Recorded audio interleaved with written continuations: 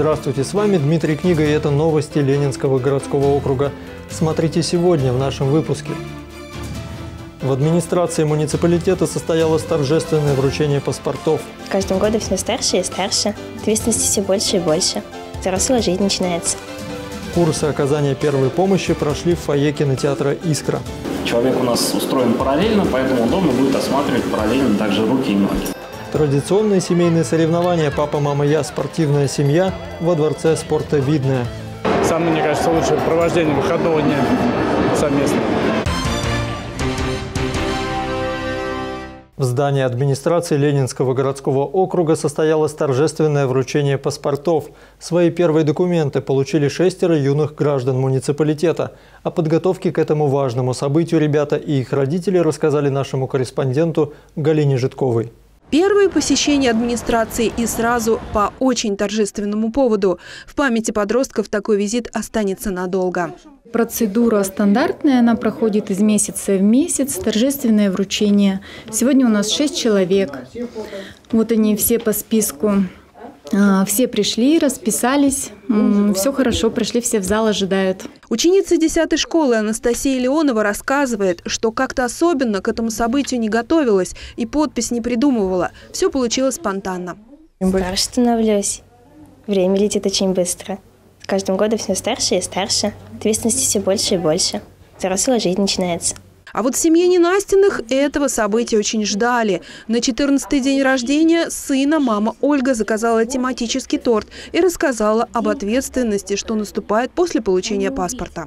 Мы с Захаром по дороге ехали, я ему объясняла, что действительно ну, ты, хоть и я за тебя несу сейчас ответственность, но вступает все равно в силу как бы и уголовная ответственность, то есть за свои поступки уже как бы отвечаешь сам. Захар Ненастин торжественно получил свой паспорт из рук главы муниципалитета и рассказал о своем настроении. Приятное. Ну, это, наверное, из-за того, что я паспорт получаю, а из-за того, что я ушел с третьего урока. Это коллективное фото займет достойное место в семейном архиве шести юных граждан. А визит станет отправной точкой в серьезном деле определения с будущей профессией.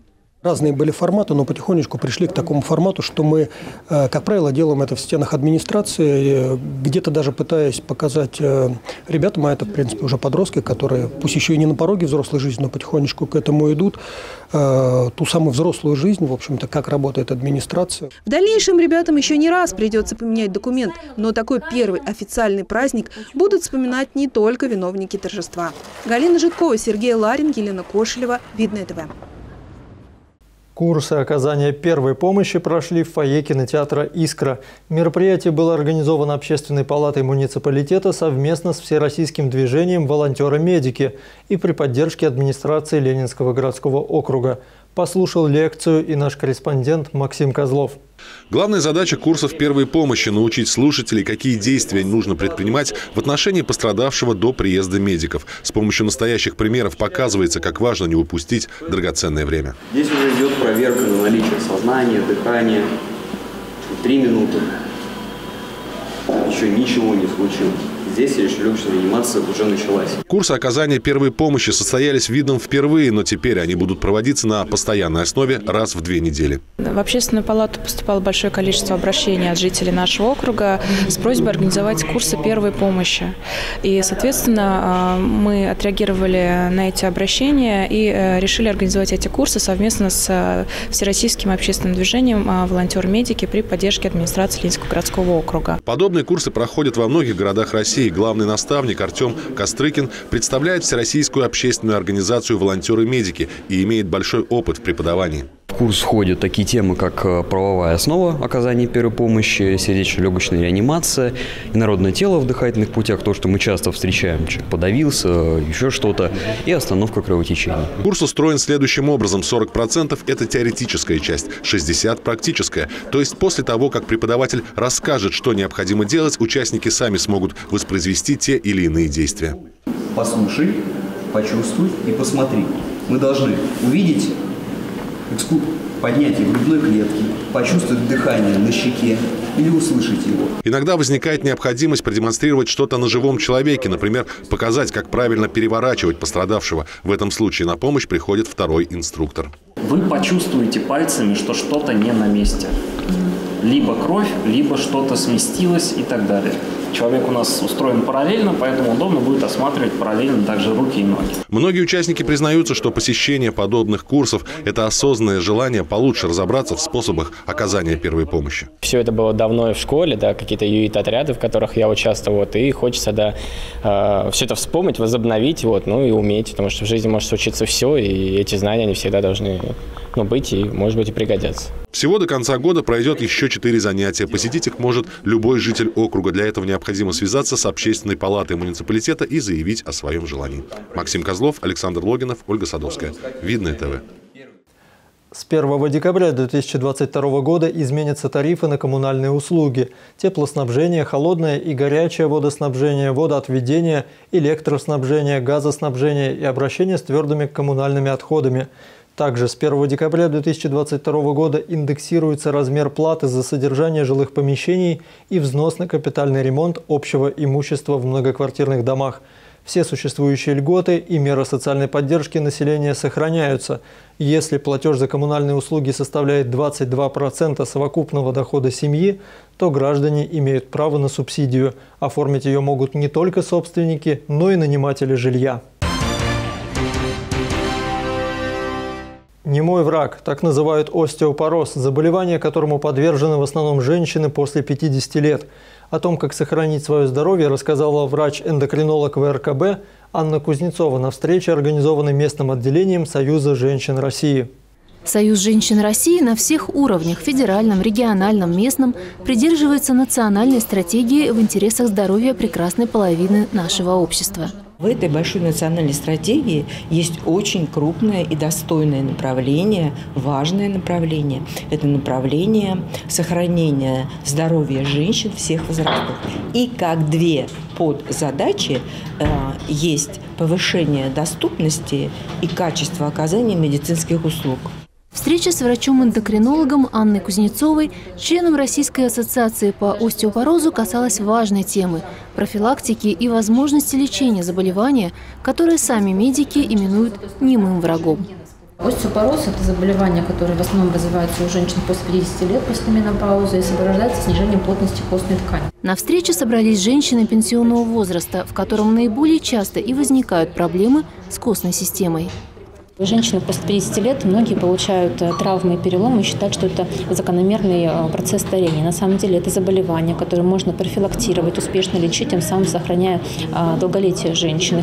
Людмила Косякова с интересом послушала лекцию доктора. Женщина считает, что тема здоровья для всех пришедших актуальна.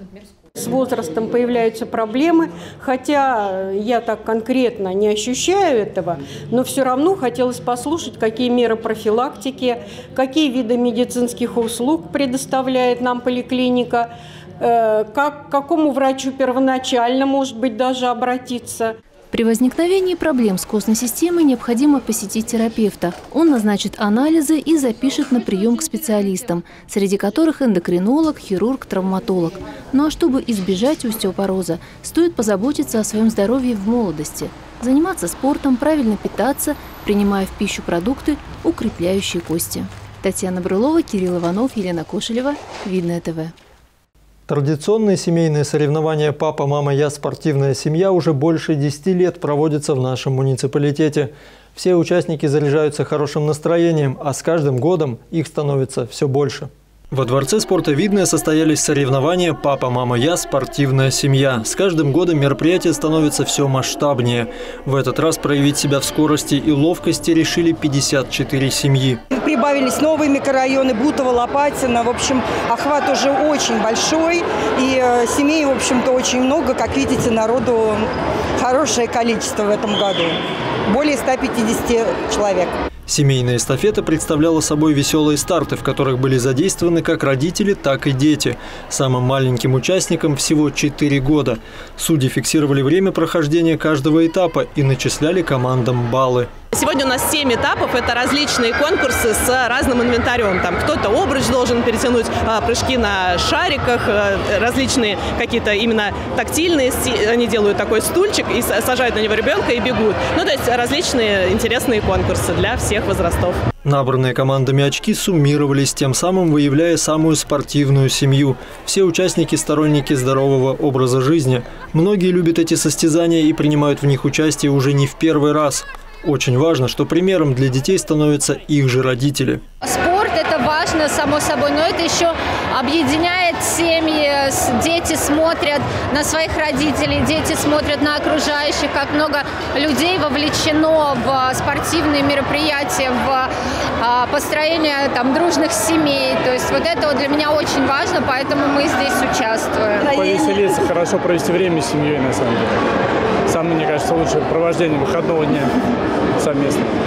Кроме соревнующихся, спортивный зал собрал большое количество персональных болельщиков, которые поддерживали своих родных. Я пришла поболеть за свою сестру и ее семью. А, это моя племянница старшая. Меня зовут Оля. Я пришла поболеть за маму, за мою сестренку и папу. Подобные мероприятия – отличный вариант семейного досуга. По итогам соревнований все участники получили поощрительные призы, а победители – подарки от организаторов. Дмитрий Книга, Сергей Ларин, Ольга Садовская, Видное ТВ. На сегодня это все новости. Всего доброго и до свидания.